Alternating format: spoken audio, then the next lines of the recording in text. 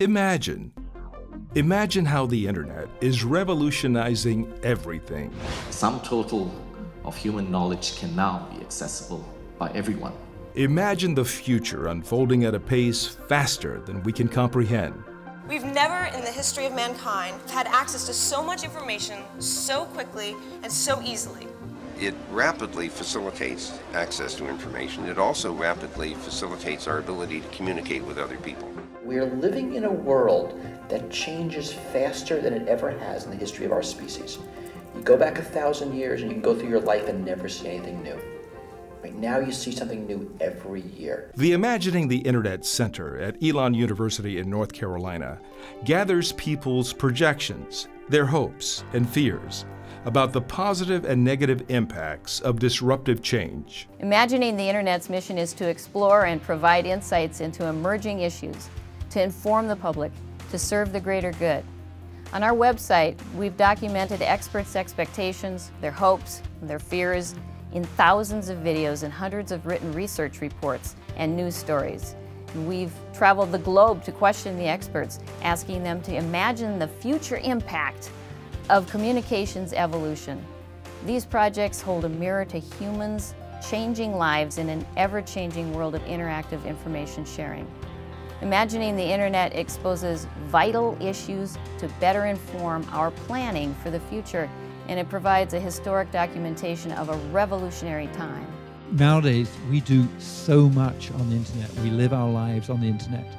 We do uh, so much of our pleasure as well as our work happens on the internet, that my entire view of the world is now governed by the people I speak to and the opinions that I listen to on the internet. So who I can connect to on the internet determines what I think of the world. Imagining the internet has many dimensions. The center fields documentary journalism teams that travel the world to provide near real-time reporting at Technology Futures events. Elon University faculty, staff, and alumni have produced hundreds of multimedia stories. These teams have recorded expert debates and discussions at the Global Internet Governance Forums and at World Wide Web and Internet Society conferences. They were on hand to record the induction of the inaugural class of the Internet Hall of Fame. Influential technology innovators, astute policy experts, and other people from around the world are sharing their foresight regarding crucial issues we need to address.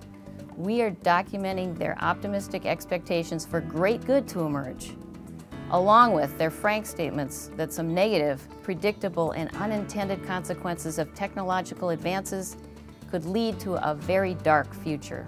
The internet, in my mind, is only reached its teenage years.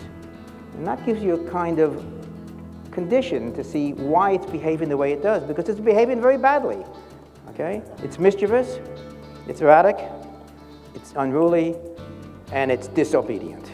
Survey research is another important part of imagining the Internet's work. Many books and dozens of research reports have been produced containing thousands of predictions by experts. The findings of this work provide powerful insights we are beginning to understand the fundamental changes that rapidly evolving communication networks are bringing to societies and to the lives of individuals. Imagining the Internet as a mirror we hold up to our world to assist all of us in understanding the impact of the technology we are allowing to gradually insinuate itself into our lives to a point at which it seems we cannot thrive without it. We have to examine how we are changing as our tools change we must work diligently to identify challenges and opportunities in order to make informed choices today, to create the future we want. If we don't, we may fall victim to a tomorrow we never saw coming. I wish that the internet could become a kind of historical watershed, the beginning of global connectivity. This will evolve over time. There will be new ways of doing this. Someday the internet will be, be replaced by something else better, I hope. But I hope that that trend simply continues and that we all become a planet of people, not a planet of nations.